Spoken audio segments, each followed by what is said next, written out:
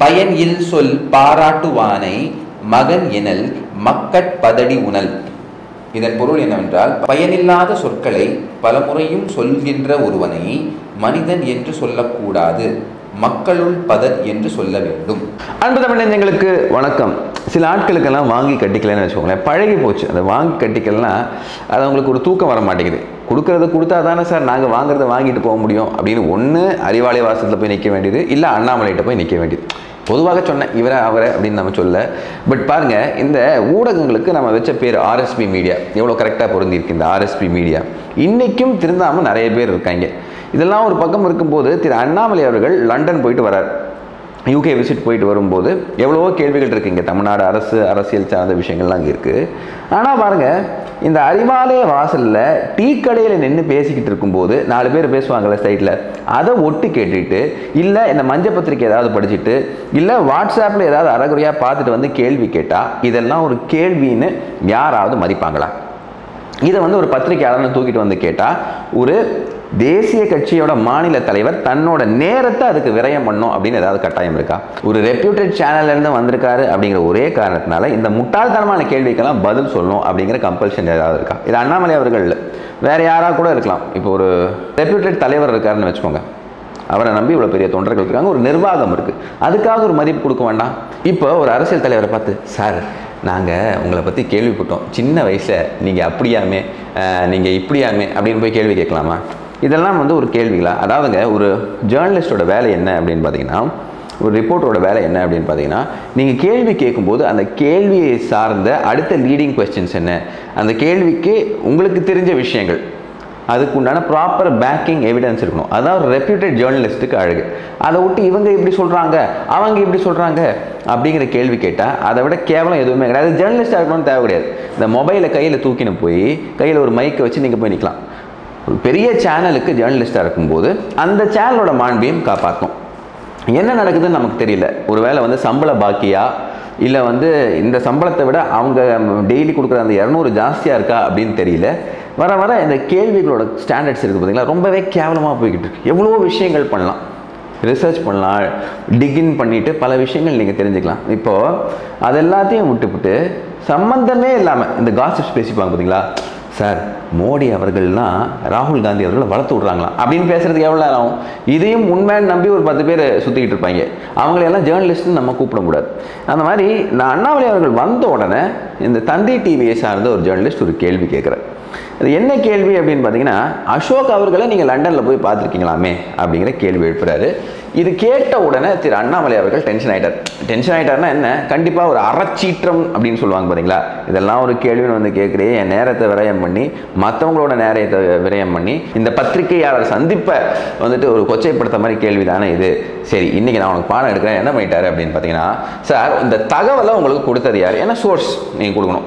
ஒருத்தரோட அதை ஒருத்தரோட ரைட் ரைட் ஆஃப் ப்ரெஸ் இருக்குன்னு வச்சுக்கோங்களேன். ப்ரெஸ்ஸுக்கு ஒரு ரைட் இருக்குது யாரையாவது கேள்வி கேட்கறதுக்கு கரெக்டு தான். ஆனால் அதே ப்ரெஸ்ஸை பார்த்து திருப்பி கேள்வி அப்படிங்கிறதுக்கு அந்த இண்டிவிஜுவல் நபருக்கும் ரைட்ஸ் இருக்குது நல்லா புரிஞ்சுக்கோங்க.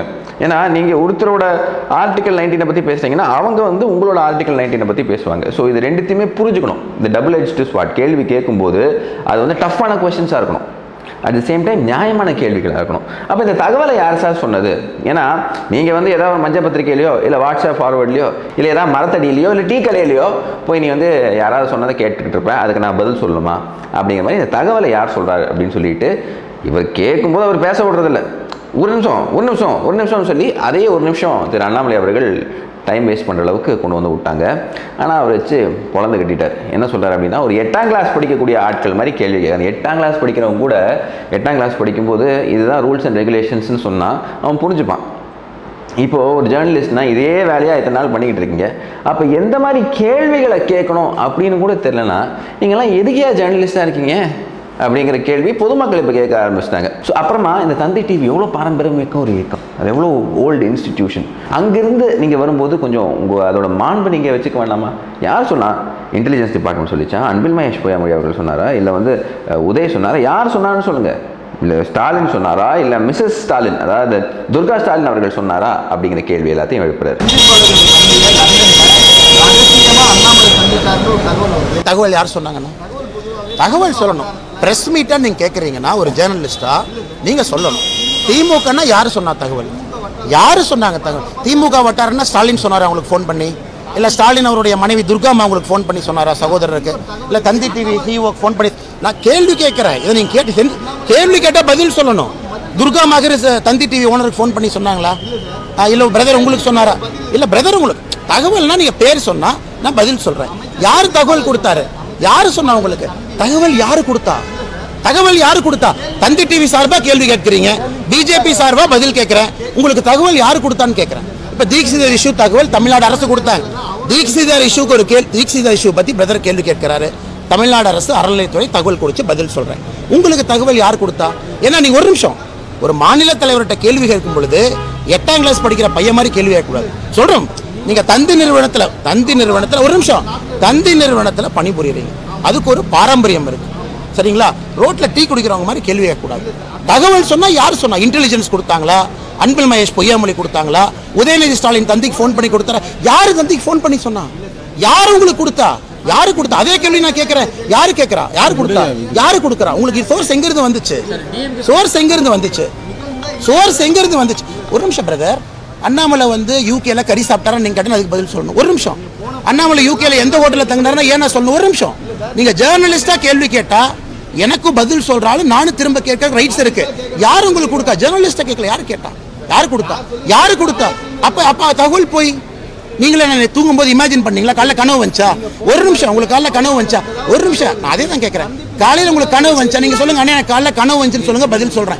காலையில் உங்களுக்கு கனவு வந்துச்சா? தூங்கும்போது கனவு வந்துச்சா? இல்லையா நான் எதுக்கு சொல்லணும்? யார் உங்களுக்கு சோர்ஸ் கொடுத்தா சொல்லுங்க. யார் சோர்ஸ் கொடுத்தா சொல்லுங்க? யார் கொடுத்தா சொல்லுங்க?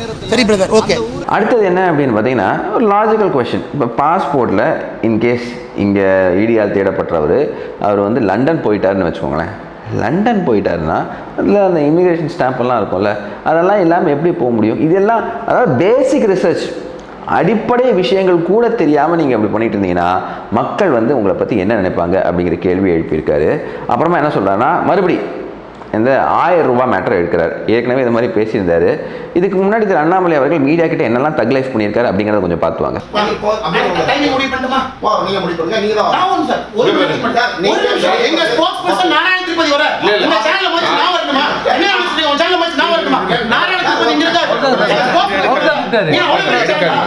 ஏங்க பத்திரிகை நண்பர்கள் உண்மையால் நீங்க தர்மத்தின்படி வேலை செஞ்சா ஒரு போலீஸ் அவங்களோட இடுப்பை பிடிச்சி ரெண்டு பேரும் கிள்ளி இருக்கான். நீங்க போய் சிஎம் அந்த கேள்வியை கேட்டீங்களா?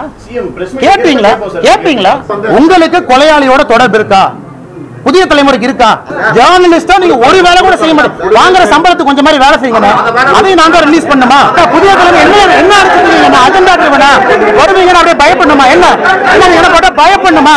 என்ன என்ன பயந்தாலும் நினைச்சீங்களா? என்ன டிவி காரன பயமுறுத்திடுவீங்களா? இந்த வேலை எங்கிட்ட வச்சுக்காதீங்க. இந்த வேலை வச்சுக்காங்க என்ன பண்றீங்க? சும்மா நீங்க டிவியில போட்டா நான் பயந்துருவோமா? இந்த வேலை வச்சுக்காதீங்க. போனாச்சும் ஊர்ல அவன்கிட்ட போய் இந்த வேலையை காட்டுங்க. இந்த வேலை எங்கிட்ட வச்சுக்காங்க புரியுதா? எனக்கும் புதிய தலைமுறைக்கும் பிஜிஆர் எனக்கும் அண்ணனுக்கும் வீடியோ ரெண்டு பேரும் முடிச்சுட்டு உள்ள வர்றீங்க பஞ்சாயத்து உள்ள வச்சு இந்த ரஃபேல் வாட்ச்ல பக் பண்ற டிவைஸ் இருக்குன்னு கேட்டீங்கல்ல பாருங்க பாருங்க பாருங்க பாருங்க பாருங்க பாருங்க பாருங்க பாருங்க பாருங்க பாருங்க பாருங்க பாருங்க பாருங்க பாருங்க பாருங்க எல்லாம் திறந்து பாருங்க இருபத்தி நாலு மணி நேரம் இந்த வாட்சை கொடுக்குறவங்க பேர் என்ன எந்த சேனல் ஓகே இருபத்தி நாலு மணி நேரம் இந்த வாட்ச் உங்க ப்ராப்பர்ட்டி நீங்க எடுத்துட்டு போங்க நீங்க பண்ற செலவு பில்லையும் நானே கொடுக்குறேன் தமிழ்நாடு ஃபுல்லா எங்க வேணாலும் போய் இந்த வாட்சை கழட்டுங்க ஃபெல்ட் எல்லாம் நோண்டி பார்த்து டைம்ஸ் ஆஃப் இந்தியா நாளைக்கு காலைல போடுங்க. இதுக்குள்ள பக்கிங் டிவைஸ் இருந்துச்சா? இதுக்குள்ள கேமரா இருந்துச்சா? ஒட்டு கேட்கக்கூடிய கருவி இருந்துச்சா? நீங்க நான் வச்சுக்க செலவு நான் கொடுக்குறேன். செலவு நான் கொடுக்குறேன். இந்த தடவை என்ன பண்ணுறாரு அப்படின்னா அண்ணே ஆயிரம் ரூபா நீங்கள் வாங்கிட்டு வந்திருக்கீங்க அப்படின்னு நான் சொல்கிறேன் நீங்கள் ஒத்துப்பீங்களா? அப்படின்னு சொன்னோன்னே அண்ணே மகேஷ் அப்படி கிடையாதுன்னு உங்களுக்கு தெரியும் இல்லை இந்த ரோஹித் அப்படி கிடையாதுன்னு உங்களுக்கு தெரியும் இல்லை அப்படிங்கிற மாதிரி அவரை பற்றி அவர் பேசிக்கிறாரு. ஏங்க உங்களை நீங்கள் பெரிய நியாயஸ்தன் நினைக்கும் போது நினைக்கலாம் தப்பு கிடையாது. எல்லாருக்குமே அவங்க நினைக்கிறதுக்கு உரிமை இருக்குது மற்றவங்களும் அதை தெரிஞ்சுக்கணும் அப்படின்னு நினைக்கும் போது அந்த குறைந்தபட்ச மாண்பை இன்னொரு அரசியல் தலைவர்கிட்ட நீங்கள் எதிர்பார்க்கணும்ல? கொஞ்சம் ரிசர்ச் பண்ணிட்டு வந்துருக்கணும்ல கொஞ்சமாவது டேட்டா விஷயங்கள் எடுத்து வச்சுக்கணும்ல.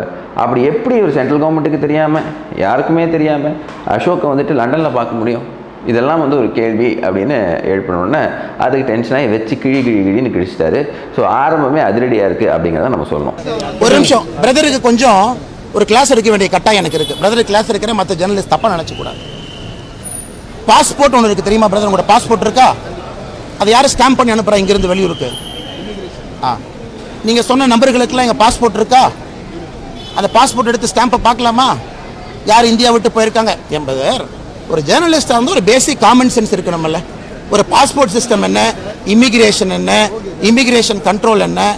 பார்டர் கண்ட்ரோல் என்ன? ஒரு பேசிக் ஐடியா அதனால் நீங்கள் ஒரு கேள்வி கேட்டால் நீங்கள் தந்தி டிவி அசிங்கப்படுத்தக்கூடாது. யூர் ரெப்ரசென்டிங் தந்தி டிவி ஒரு நிமிஷம். ஒரு வியூவர்ஸ் பார்க்குறவன் ஏன்னா தந்தி டிவியில் இந்த மாதிரி ஜேர்னலிஸ்டில் இருக்காங்களே நினைக்கக்கூடாது. When you represent TV uphold uphold TV ஏங்க பிரதர் நீங்க கேட்ட கேள்வியில் என்ன நியாயம் இருக்கு? நீங்க சொல்லுங்க. இத்தனை பேர் ஜேர்னலிஸ்ட் இருக்காங்க. இத்தனை பேர் ஜேர்னலிஸ்ட் இருக்காங்க. ஒரு நிமிஷம். கேட்ட கேள்வி நான் இருக்கு. எவ்வளவு சீரியஸாக பேசிட்டு இருக்கோம். ஒரு நிமிஷம். அவர் எங்க இருக்காரு? நான் எங்க இருக்கேன்? பாஸ்போர்ட்டுங்கிறது என்ன? இமிகிரேஷனுங்கிறது என்ன? ஒரு நிமிஷம். ஒரு நிமிஷங்க. தக தகவல் யாரு கொடுத்தான்னு நான் கேட்குறேன். தகவல் யாரு கொடுத்தா? தகவல் யாரு கொடுத்தா? தகவல் யாரு பிரதர் ஒரு நிமிஷம். நீங்க கேட்கிற கேள்வி முட்டாள்தனமா இல்லை? இதை யாராச்சும் ஒரு பார்க்குற ஒருத்தர் நல்ல கேள்வின்னு அதை கேட்பானா? ஒரு நிமிஷம். ஒரு நிமிஷம் பிரதர் ஒரு நிமிஷம். நீங்கள் என்ன கேள்வி கேட்குறீங்க அதுக்கு ஒரு பேசிக் லாஜிக் இருக்கணும்ல என்ன ஒரு பேசிக் உங்க கேள்விக்கு என்ன லாஜிக் இருக்கு? என்ன லாஜிக் இருக்கு அந்த கேள்விக்கு? என்ன லாஜிக் என்ன வாழ்க்கையில தவறு? சார் நான் சொல்றேன். அண்ணே நேத்து காலையில நேத்து காலையில நீங்க திமுக ஆயிரம் ரூபாய் பணம் வாங்கினீங்கண்ணா. எனக்கு தகவல் வந்துச்சு. இல்லையா பொய்யான்னு சொல்லுங்க. இல்ல நான் கேட்கிறேன் நான் கேட்கிறேன் சொல்லுங்க. நேத்து இல்ல நீங்க கேட்கிற அதே கேள்வி கேட்கிறேன் திமுக காரன் நேத்து காலையில ஒரு நிமிஷம். ஏய், நேத்து திமுக உங்களுக்கு ஆயிரம் ரூபாய் பணம் கொடுத்து இந்த கேள்வியை கேளுங்கன்னு சொன்னாங்க. நீங்க இல்லைன்னு சொல்லுங்க. நீங்க இல்லைன்னு சொல்லுங்க. அதே மாதிரி அண்ணாமலை பார்த்திருப்பாங்க உங்களுக்கு தெரியுமா தெரியாதா? ஒரு நிமிஷம் ஒரு நிமிஷம். அண்ணாமலை பார்த்திருப்பாங்க உங்களுக்கு தெரியுமா தெரியாதா? மகேஷ் ஆயர் நீங்க கேட்ட அதே கேள்வி திரும்பி நான் கேட்கிறேன். நான் கேட்கிறேன். மகேஷ் தந்தி டிவி சார்பா ஆயிரம் ரூபாய் வாங்கினார் நான் கேட்கிறேன். நீங்க இல்லைன்னு ப்ரூவ் பண்ணுங்க. அந்த மாதிரி தான் இருக்கு உங்க கேள்வி. கேள்விக்கு ஒரு லாஜிக் இருக்கணும் கேள்விக்கு ஒரு பதில் இருக்கணும்.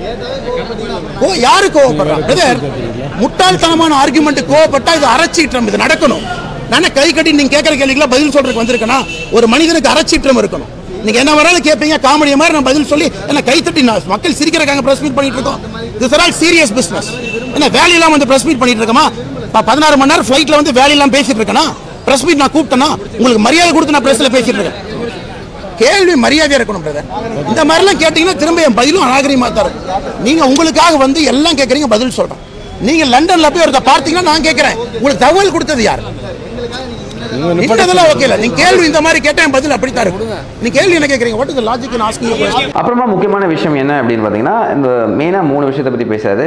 யூகே போயிட்டு வந்திருக்காரு. எதுக்கு சார் யூகே போயிட்டு வந்தாரு? அங்கே இலங்கையிலேருந்து வந்திருக்கக்கூடிய டயஸ்போரா தமிழ் பேசக்கூடிய டயஸ்போரா அவங்க இந்தியாவை எப்படி பார்க்குறாங்க? அவங்களோட லைஃப் கண்டிஷன்ஸ் எப்படி இருக்குது இப்போ இந்தியாவை யூகேல இருக்கக்கூடிய ஆட்கள் எப்படி பார்க்குறாங்க? தமிழ் பேசக்கூடிய இந்தியர்கள் அங்கே இருக்காங்க. அவங்கள வந்து யூகேல இருக்கக்கூடிய சிட்டிசன்ஸ் எப்படி பார்க்குறாங்க? அங்கே ரிலேஷன்ஷிப் எப்படி இருக்குது அப்படிங்கிற பல விஷயங்களை வந்து பல கோணத்துலேருந்து அங்கே போய் டிஸ்கஸ் பண்ணிட்டு வந்துட்டு அங்கே இருக்கக்கூடிய ஒரு முக்கியமான சைவ அமைப்பு பிரதமர் மோடி அவர்களுக்கு ஒரு கிஃப்டெல்லாம் கொடுத்துருக்காங்க அதை கொண்டு வராங்க. ஸோ மெயினான டாபிக் ஆஃப் டிஸ்கஷன் அங்கே வந்து இறங்கின உடனே ஃபஸ்ட்டு வந்து இந்த இலங்கை தமிழர்கள் யூகேயில் எப்படி இருக்காங்க அதுக்கப்புறமா வந்து சிதம்பரம் கேஸ் இந்த சிதம்பரம் கேஸ் தான் நீங்கள் சில விஷயங்கள் எல்லாத்தையும் புரிஞ்சுக்க வேண்டியிருக்கு. ஒரு அறிக்கை தனியாக விட்டுருக்காங்க இப்போ. அது அறிக்கையை பற்றி நான் பார்க்குறதுக்கு முன்னாடி திரு அண்ணாமலை அவர்கள் நேற்று இந்த சிதம்பரம் கேஸில் என்ன சொன்னார் அப்படிங்கிறத கொஞ்சம் பார்த்துவாங்க அறநிலைத்துறை கட்டுப்பாட்டில் சிதம்பரம் கோயில் இருக்கக்கூடாது என்பது சுப்ரீம் கோர்ட்டினுடைய தீர்ப்பு. அந்த தீர்ப்பு கிட்டத்தட்ட அறுபது எழுபது ஆண்டு காலமாக நடைமுறையில் இருக்கு நம்ம எல்லோருக்குமே தெரியும். ஆனால் தொடர்ந்து தமிழகத்தில் இருக்கக்கூடிய திமுக அரசு சிதம்பரம் கோயிலை நியூஸ்லேயே வச்சுருக்காங்க. ஏதோ ஒரு காரணத்துக்கு நியூஸ்லேயே வச்சுருக்காங்க. குறிப்பாக ஆளுநர் அவர்கள் ஒரு இன்டர்வியூ கொடுத்துருந்தாங்க. அங்கே வந்து டூ ஃபிங்கர் டெஸ்ட் நடந்திருக்குன்னு சொன்னாங்க. அதை வந்து மாநில அரசு மறுத்திருக்காங்க. அதன் பிறகு NCPCR national commission for protection of child right அவங்க வந்து அதை இன்ஸ்பெக்ட் பண்ணிவிட்டு டூ ஃபிங்கர் டெஸ்ட் நடந்திருக்குன்னு அவங்க ஒரு ரிப்போர்ட் கொடுக்குறாங்க. அதனால் தமிழக அரசை பொறுத்தவரை பல இடத்துல முன்னுக்கு முரணாக பல தகவல்களை சொல்லிட்டு இருக்காங்க. ஸோ சிதம்பரம் தீட்சிதார் அந்த கோயில்கள் அதை பொறுத்தவரை ஆயிரத்தி தொள்ளாயிரத்தி ஐம்பது ஏர்லிப்பட்ட ஃபிஃப்டிஸ்லேயே கிளியர் ஜட்ஜ்மெண்ட் அவங்களுக்கு வந்திருக்கு. காரணம் ஒரு ஹெரிடிட்ரி கஸ்டம் அந்த கோயிலுக்கு வந்து சுப்ரீம் கோர்ட்லேயே ஊர்ஜிதமாகி வந்திருக்கு. இப்போ நாம் பேசுகிற புது விஷயங்கள். அதாவது நாங்கள் போனோம் எங்களை வந்து தடுத்துட்டாங்க. அறநிலைத்துறையினுடைய அதிகாரிகள் சிதம்பரம் கோயிலுக்கு செல்வதற்கு உரிமை இருக்கா? சுப்ரீம் கோர்ட் ஜட்ஜ்மெண்ட்லேயே சொல்லியிருக்காங்க உரிமை இருக்குது ஆனால் எப்படிப்பட்ட உரிமை இருக்குன்னு வரையறுத்திருக்காங்க. இந்த வேலைகள் மட்டும்தான் செய்ய முடியும்.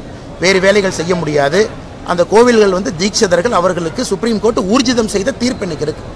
அதனால் இது தெளிவாக ஏன்னா ஒரு ஒரு மாதம் பார்த்திங்கன்னா ஒரு ஒரு இஷ்யூ ஆனால் மாநில அரசை பொறுத்தவரை எந்த கோ எல்லா கோயில்லையும் ஏகப்பட்ட பிரச்சனை இருக்குது இன்றைக்கும் அங்கே போகக்கூடிய பக்தர்களுக்கு ஆயிரத்தெட்டு பிரச்சனை இருக்குது உண்டியல் பிரச்சனை இருக்குது கோவிலுக்குள்ளே ஆறு கால பூஜை நடக்காமல் இருக்குது இதையெல்லாம் மாநில அரசு செய்யலாமே. எத்தனையோ பெரிய பெரிய கோயிலில் எவ்வளவு பிரச்சனை இருக்கு? அதை விட்டு விட்டு ஒரு ஒரு மாசமும் சிதம்பரம் கோயிலில் தீட்சிதரை வச்சு புதிய புதிய பிரச்சனையை உருவாக்குவதே திமுக அரசுக்கு வாடிக்கையாக இருக்கு. ஆனால் ஸ்பெசிஃபிக்காக இது என்ன அப்படிங்கிறதுக்கு நாளைக்கு ஒரு டீட்டெயில் அறிக்கையும் நம்ம கொடுக்குறோம். உங்களை நாளை நாளை நாளை மறுநாள் சந்திக்கும் பொழுது இதை பற்றி விரிவாக பேசுவாங்கண்ணா நான் அதுக்கப்புறமா இந்த அறிக்கையை நம்ம பார்க்கணும். ரொம்பவே ரொம்பவே ஸ்ட்ராங்லி வேர்டட் ஒரு அறிக்கையாக இருக்குது இதில். இதில் என்ன சொல்கிறார் அப்படின்னு பார்த்தீங்கன்னா கிட்டத்தட்ட ஆயிரம் வருஷம் பழமை வாய்ந்த இந்த கோயிலில் வந்து தேவையில்லாமல் திமுக திருநற்ற திமுக அரசு திருநற்ற திமுக அரசு அப்படிங்கிறத நிறைய இடத்துல மென்ஷன் பண்ணியிருக்காரு. அவர் வந்து மூக்க நடிக்கிறாங்க நாலு நாள் தான் கனக சபையில் வந்து ஏறக்கூடாதுன்னு சொல்லியிருக்காங்க. மற்ற நாள்லாம் எல்லாமே அலௌடு தானே. அப்புறம் எதுக்கு இந்த பிரச்சனையை இங்கே தேவையில்லாமல் கொண்டு வரீங்க? ஹெச்ஆர்என்சி எதுக்கு இதுக்குள்ளே வருது? ஹெச்ஆர்என்சி எதுக்கு இதை கண்ட்ரோல் பண்ணுறதுக்கு முயற்சி பண்ணுது? சுப்ரீம் கோர்ட்டும் சொல்லியிருக்கு ஹை கோர்ட்டும் சொல்லியிருக்கு. என்னெல்லாம் வரமுறைகள் அப்படிங்கிற விஷயத்த சொல்லியிருக்கு. அதை ஹெச்ஆர்என்சி மீறத்துக்கு ஏன் முயலுது அப்படின்னு சொல்கிறாங்க அப்புறமா ஆயிரத்தி தொள்ளாயிரத்தி ஐம்பத்தி ஒன்றில் ஹைகோர்ட்டில் என்ன ஜட்ஜ்மெண்ட் வந்துச்சு அப்படிங்கிற விஷயத்தையும் சொல்கிறாங்க அதன்படி ஆர்டிக்கல் இருபத்தி ஆறு படி நம்மளோட தீட்சிதர்கள் அவங்க ஒரு தனி டினாமினேஷன் அவங்களுக்குன்னு தனி ஒரு வே ஆஃப் ஃபங்க்ஷனிங்கள் இருக்குது அதை தேவையில்லாமல் டிஸ்டர்ப் பண்ணக்கூடாது. அதே மாதிரி தீட்சிதர்கள் நடத்தக்கூடிய அந்த கோயில்கள் இருக்குது பார்த்தீங்களா அதை தேவையில்லாமல் அந்த ஹெச்ஆர்என்சி வந்து உள்ளே போகிறதுக்கு முயற்சி பண்ணக்கூடாது. இதுக்கு வந்து அப்போ மெட்ராஸ் பிரசிடென்சி என்ன பண்ணுதுன்னா நைன்டீன் ஃபிஃப்டி த்ரீல அவங்க அப்பீல் போகிறாங்க சுப்ரீம் கோர்ட்டுக்கு அது டிஸ்மிஸ் செய்யப்படுது. அதுக்கப்புறம் நைன்டீன் ஃபிஃப்டி நைனில் இந்த சட்டம் கொண்டு வராங்க ஹெச்ஆர்என்சி சட்டம். செக்ஷன் ஒன் நாட் செவன்லையும் இந்த டினாமினேஷன்ஸ் நடத்தக்கூடிய கோயிலை டிஸ்டர்ப் பண்ணக்கூடாது அப்படின்னு வருது. ரெண்டாயிரத்தி ஒம்போதில் இந்த கருணாநிதி அரசு இருக்குது பார்த்தீங்களா இந்த திமுக அரசு. அவங்க வந்து இந்த தீம் ஒரு கவர்மெண்ட் ஆர்டர் பாஸ் பண்ணுறாங்க இந்த கோயிலை டேக் ஓவர் பண்ணுறதுக்கு சுப்ரீம் கோர்ட்டுக்கு போய் ரெண்டாயிரத்தி பதினாலு இந்த கோயிலை இவங்க எடுக்க முடியாது. தீட்சிதர்கள் தான் இதை ரன் பண்ணும் அப்படின்னு சொல்லிட்டு ஒரு லேண்ட்மார்க் ஜட்ஜ்மெண்ட் வருது. லேண்ட்மார்க் ஜட்ஜ்மெண்ட் ரெண்டாயிரத்தி பதினாலில். அதுக்கப்புறம் கப்பு சுப்புன்னு இந்த கவர்மெண்ட் ஆர்டரை ரிவர்ஸ் பண்ணுறாங்க அன்னையிலேருந்தே அவங்களுக்கு ஒரு கடுப்பு இருக்குது நான் ஏற்கனவே உங்களுக்கு சொல்லியிருக்கேன். ரெண்டாயிரத்தி இருபத்தி ஒன்றில் இவங்க வந்ததுலேருந்து என்னெல்லாமோ முயற்சி பண்ணிக்கிட்டு இருக்காங்க. கோயிலோட நிர்வாகத்துக்கு இடைஞ்சல் பண்ணிக்கிட்டே இருக்காங்க. இந்த திமுக அரசு அண்ட் ஹெச்ஆர்என்சி நகைகளை தணிக்கை பண்ணோம் அப்படின்னு வந்தாங்க. அதில் எந்த பிரச்சனையும் இல்லை அப்படின்னு சொன்னோன்னே மற்ற பிரச்சனைகளை இவங்க ஏற்றிக்கிட்டே வராங்க. கனக சபை வெறும் நாலு நாள். நாலு நாள் தான் ஏறக்கூடாதுன்னு சொல்லியிருக்காங்க. அது எல்லாருக்குமே போட்ட ஒரு கண்டிஷன் அது வந்து நிர்வாக ரீதியான இருக்கக்கூடிய ஒரு விஷயம். அதை மீறி புகுந்ததே தவறான விஷயம். கடுமையான நடவடிக்கை எடுக்கப்பட வேண்டும் இந்த ஆட்கள் மேலே அப்படின்னு திரு அண்ணாமலை அவர்கள் சொல்கிறாரு முப்பத்தேழாயிரம் டெம்பிள் இருக்குது அதில் ஆயிரத்தெட்டு பிரச்சனை இருக்குது அது எல்லாத்தையுமே ஒட்டி இதில் மட்டும் நீங்கள் ஏன் ஃபோக்கஸ் பண்ணிகிட்டு இருக்கீங்க? ப்ரைவேட் ஆடிட் அதாவதுங்க இவ்வளோ கோயில்கள் இருக்குது இதில் ப்ரைவேட் ஆடிட் பண்ணோன்னு ஹைகோர்ட் சொல்லியிருக்கு.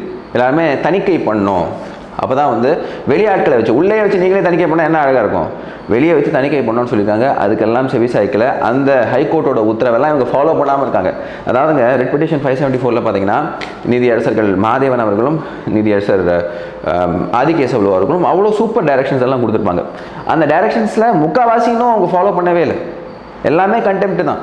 அந்த கண்டெம்ச்சுவஸ் ஆக்ட் நடத்திட்டு இருக்கக்கூடிய அந்த ஹெச்ஆர்சி டிபார்ட்மெண்ட் வெக்கமே இல்லாமல் நீங்கள் எதுக்கு இந்த இடத்துல வந்திருக்கீங்க அப்படிங்கிற மாதிரி தான் அவரோட கேள்வி இருக்குது அது மட்டும் இல்லாமல் நாத்திகத்தை பரப்பி கொண்டு சுற்றிக்கிட்டு இருக்கக்கூடிய ஒரு கூட்டத்துக்கு ஆதரவு கொடுக்கக்கூடிய திமுக இதே மாதிரி வேலையை பார்த்துக்கிட்டு இருந்துச்சுன்னா அடுத்தது எங்களோட நடவடிக்கை ரொம்பவே கடுமையாக இருக்கும் அப்படிங்கிற பாணியில் இந்த அறிக்கையை அவர் விட்டுருக்காரு. இதெல்லாம் இருக்கும்போது நம்ம சேகர் பாபு அவர்கள் அவர் என்ன பேசுகிறாருன்னா நாங்கள் கேதர் பண்ணிக்கிட்டு இருக்கோம் எவிடன்ஸு இந்த டெம்பிளை டேக் ஓவர் பண்ணுறதுக்கு இவங்க வந்து ஒரு தனி பவர் சென்டராக அங்கே திறந்துட்டு இருக்காங்க. யார்?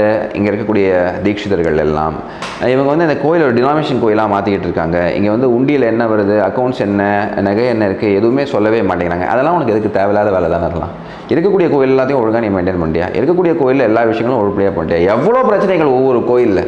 இதெல்லாம் இருக்கும்போது அங்கே தான் போய் பார்த்துக்கிட்டு இருக்கணும் அப்படிங்கிறது இது கிளியர் பொலிட்டிக்கல் வெண்டாட்டான்னு ஊருக்கே தெரியுது. இதெல்லாம் ஒரு பழப்புன்னு வந்து இதுக்கு வேண்டி ஒரு அமைச்சரை வேறு போட்டிருக்காங்க.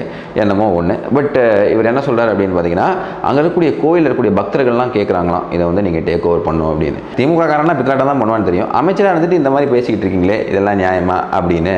அதே மாதிரி அங்கே இருக்கக்கூடிய சில பொதுமக்கள் பேசிக்கிட்டாங்க. இப்போ என்ன அப்படின்னா சுப்பிரமணியன் சாமி அவர்கள் இதுக்கு ஒரு பதில் கொடுத்துருக்காரு. அவர் என்ன சொல்லியிருக்காருன்னா வாட் அ டஃபர் அப்படின்னு இந்த நம்மளோட ஹெச்ஆர்என்சி மினிஸ்டர் இருக்கார் பார்த்தீங்களா? வாட் அ டஃபர் அப்படின்னு சொல்லியிருக்காரு. வாட் அ டஃபர் அப்படின்னு சொல்லிட்டு என்ன சொல்கிறாருன்னா இந்த after Karunanidhi learn the lesson the hard way இந்த மினிஸ்டரும் அந்த மாதிரி தான் லேர்ன் பண்ணுவார். இந்த கவர்மெண்ட்டும் அந்த மாதிரி தான் லேர்ன் பண்ணுவாங்க. இந்த மினிஸ்டரை மினிஸ்டர் ஆஃப் டேஷ் டேஷ் டேஷுக்கு ஷிஃப்ட் பண்ணணும். இல்லைனா வந்து இந்த சிஎம் வந்துட்டு இந்த கவர்மெண்ட்டை டிசால்வ் பண்ணுவாங்க. காரணம் என்ன ஒரு மனுஷனோட அடிப்படை உரிமையாக இருக்கக்கூடிய ஃபண்டமெண்டல் ரைட்டாக இருக்கக்கூடிய ஆர்டிகல் டுவெண்ட்டி ஃபைவை இவரால் அப்ரூவல் பண்ண முடியல அப்படின்னு சொல்லி இந்த கவர்மெண்ட் டிஸ்மிஸ் பண்ணுவோம்னு சொல்லியிருக்காங்க. ஸோ இதெல்லாம் வந்து தேவையில்லாத ஒரு அட்வென்ச்சருக்குள்ளே இந்த சேகரபாபு அவர்கள் போவார். கண்டிப்பாக இதுக்கு ஹெவி காஸ்ட் பே பண்ணுவாங்க அப்படிங்கிற விஷயத்த அழுத்தம் திருத்தமாக நம்ம சொல்லிக்கலாம். ரெண்டாயிரத்தி ஒம்போதில் ட்ரை பண்ணாங்க. பதினொன்றில் ஆட்சி போச்சு பத்து வருஷம் ஆட்சிக்கே திருப்பி வர முடியல. மறுபடியும் அதே தவிர பண்ணுறாங்க இனிமே பர்மனெண்ட் கூப்பு தான் அப்படிங்கிறது தான் என்னோட கருத்தாக இருக்குது பதவி நிறுதியாக ஒரு ஜேர்னலிஸ்ட் எப்படி இருக்கணும் அப்படின்னு பார்த்தீங்கன்னா எல்லாரையும் கேள்வி கேட்குறதுக்கு திராணி இருக்கணும். அப்புறமா வந்து நாலேஜ் இருக்கணும். அப்புறம் இன்க்விசிட்டிவ்னஸ் இருக்கணும் இது மூணுமே தேவை. யார்கிட்ட என்ன கேள்வி கேட்கணும் அப்படிங்கிற விஷயம் தெரிஞ்சிருக்கணும் ஒரு ஜேர்னலிஸ்ட் இவங்ககிட்ட இந்த விஷயத்த போய் கேட்டால் கரெக்டாக இருக்கும். இதுக்கு என்னோட டேட்டா பேக்கிங் இருக்குது இதுக்குண்டான ரிசர்ச் நான் பண்ணியிருக்கேன் அப்படின்ட்டு இருக்கணும். அப்புறம் அவங்ககிட்ட கேட்குறதுக்கு கேட்கறதுக்கு அந்த தைரியம் வேணும். அப்புறம் இன்க்விசிட்டிவ்னஸ் ஒரு ஆர்வம் இருக்கணும் புதுசாக நம்ம தெரிஞ்சுக்கணும் அப்படின்னு. இதெல்லாம் இருந்தால் தான் ஜேர்னலிஸ்ட் ஆக முடியும். அதை விட்டுட்டு எங்கேயோ வாசலில் உட்காந்து அவங்க கொடுக்குற டிப்ஸை வாங்கிட்டு அதுக்கப்புறமா ஆஃபீஸுக்கு போய் சீட்டை தேய்ச்சிட்டு வந்தால் கண்டிப்பாக ஜேர்னலிஸ்ட் ஆக முடியாது. வருங்காலத்தில் இருக்கக்கூடிய எல்லாரும் இந்த விஷயங்களை கொஞ்சம் புரிஞ்சுக்கணும் அப்படிங்கிற கருத்தோட உங்ககிட்ட இருந்து விடைபெறேன். இணைந்ததுக்கு நன்றி. வணக்கம் வந்தே மாத்திரம் பாரத் மாதா கி ஜெய். வாழ்கலம் பாரதம். ஜெய் ஹிந்த். எத்தனை காலந்தான் ஏமாற்றுவார் இந்த நாட்டிலே.